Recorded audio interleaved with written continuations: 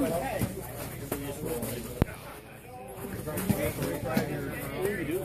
you can bring a semi. We bring them, he's in there. We got two or three, we had, Oh, you park them right in. the show trailers we did. Right, right. We had, what, three of them last year? Yeah, Mike had, or uh, Curtis had bikes, Bud and Mike, we had three trailers.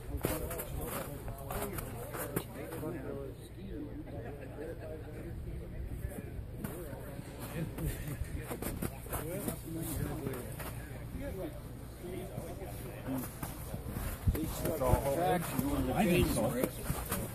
Yeah.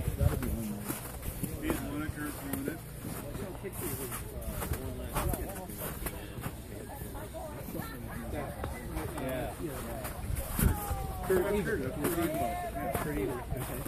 He's got that, he's got that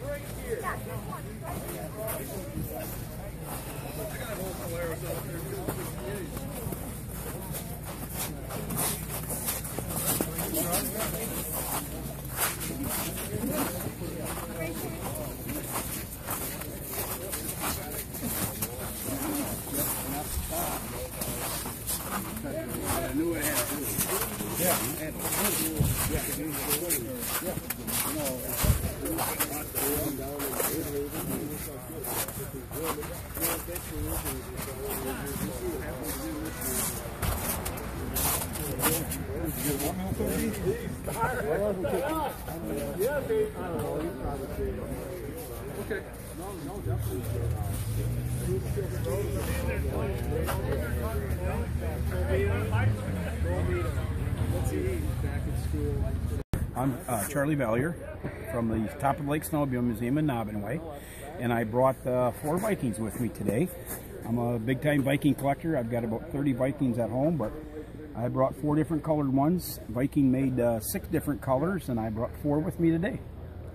It's one of my favorites.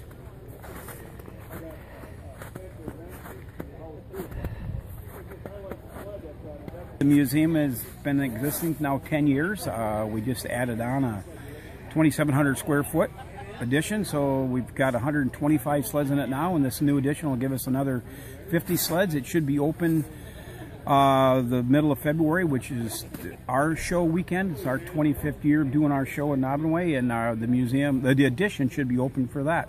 That's February 17th and 18th. Perfect. Thank you.